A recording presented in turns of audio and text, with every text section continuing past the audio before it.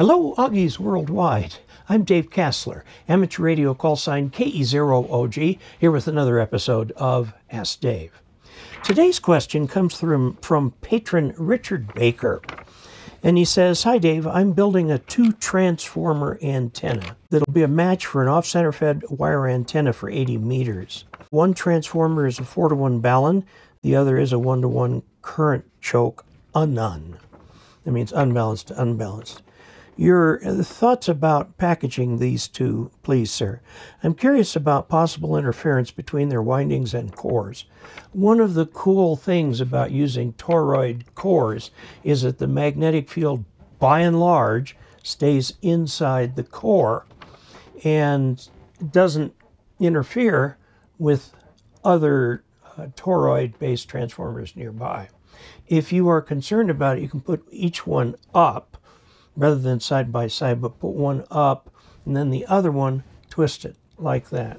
They'll be orthogonal to each other. The balun is to match the 200 ohm feed point on the OCF wire to 50 ohms. It's about the one third point, I believe. The unun is to attenuate shield currents going back to the station. I'm hoping to package all along with hanging and connecting hardware with two PVC end cap assembly. Thanks for your time and thoughts. From N5 KXA, Richard Baker. Let me correct one thing here. The balun, he says, is to match the current, and then the next one is an unun. No, it should be a balun. There shouldn't be a connection between the two. But let's draw out what he's trying to do. Okay, so he's got a wire that goes this length here, and this is for 80 meters, so it's about 132 feet long, about. And he's not going to feed it at the center. Not going to feed it that way. He's going to feed it at the, I think, about the one third point. To do that, the impedance, remember the impedance is just the ratio of the voltage divided by the current. The minimum impedance is at the center. As you move out, the voltage begins to rise until it's quite high at the ends, and the current goes down as it gets to the ends. Now, that's a rough approximation because if the thing is radiating 100%, the current and the voltage must be in phase. So there's a lot going on in an antenna. But he's going to do it here in the input impedance is about 400 ohms. Now, one thing to consider there is a reactance associated with this.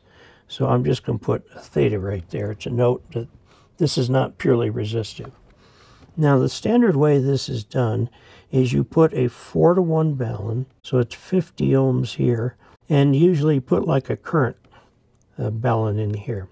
Okay, 50 to 200 ohms. Okay, that's 4 to 1 balun, which means the turns ratio is 2 to 1. Now, this is still balanced. So you're going to go balanced to balanced. Now what you need to do is you've got this coax coming in here. It's 50 ohms unbalanced because the outer shield is at, in theory, zero potential. So what you need here is a one-to-one balun. Okay, you want this side to be a balance, so it'd be 50 here and 50 here. So it's a one-to-one, okay? And you go 50 to 50, you're separated now from that, and now you're up into here. And uh, the question comes, why can't you just go up into here? Well, this is usually a current balun, and you want something that's balanced to balanced. Anyway, this is the way they're made. The reference station antenna for years has been the MFJ 2010, which is an off-center fed dipole exactly like the one that you're constructing there with all the same types of dimensions and so on. Unfortunately, with MFJ going out of business, they're becoming very hard to get. Now that balun covers all of 40 meters, all of 20 meters, a good part of 10 meters, and some in the lower six meter region, all of which can be used by a general. It's a nice antenna, it's under $100. I looked at other options. You could make a fan dipole or you could do something like the ARRL's kit for an end-fed 40 meter antenna that'll cover, cover all of 40, 20, 15, and 10. If you lengthen that out to 80 meters, you can pick up uh, 17 and 12 and possibly a little bit on 30, but nothing on 60. 60 uh, doesn't have a good harmonic relationship really with any ham band. That would be, I think, what you should do. So this is a picture right here of the balun that is inside. You see that there are two baluns. One is the one to separate the coax shield from connecting in, and the other is to actually do the transformer action. One is a voltage balun, the other is a current balun. Okay, so that allows us to basically what you're building here is an off-center fed dipole that's very like other off-center fed dipoles. Now this is fed at the one-third point. Okay, so this distance is two-thirds, this distance is one-third.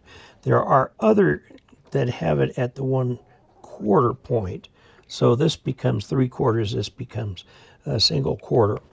Uh, these seem to be the most popular, and you can get them, like I said, very inexpensively.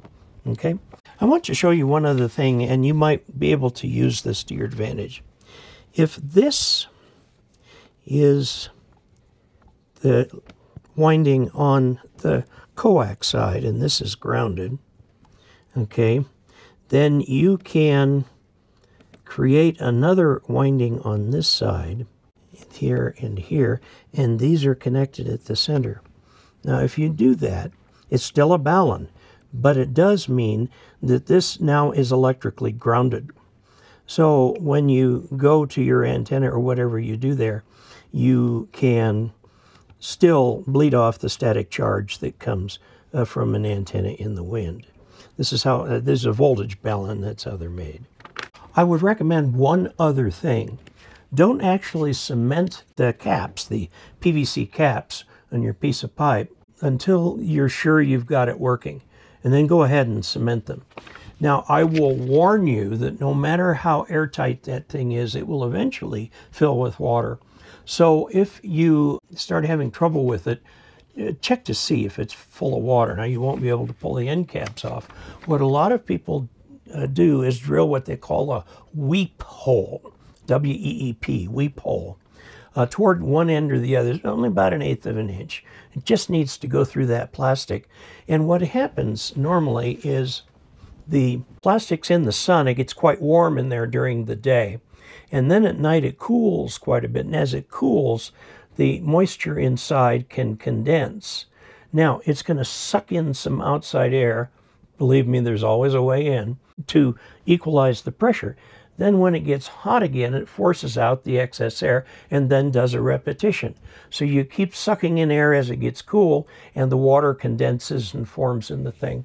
I remember when I was in the Air Force, we had an ANFSP 90. If I got the numbers right, I don't know if I did. That was 50 years ago. But it was a height finder radar, and there was a box on the front. It was a solid metal box and it had a gasket and sufficient holes to really tie that thing down. And no matter what we did, there was always water in the box. So finally, we drilled a couple little weep holes in the bottom, and the problem went away. So it would stay nice and dry in the box, and that'll that'll help here too. There's other examples of, of ways you can do this to keep water from gathering inside. I actually, when I got the ARRL uh, unit, I did drill one weep hole in the bottom to make that work. So there you have it. Good luck with your antenna project.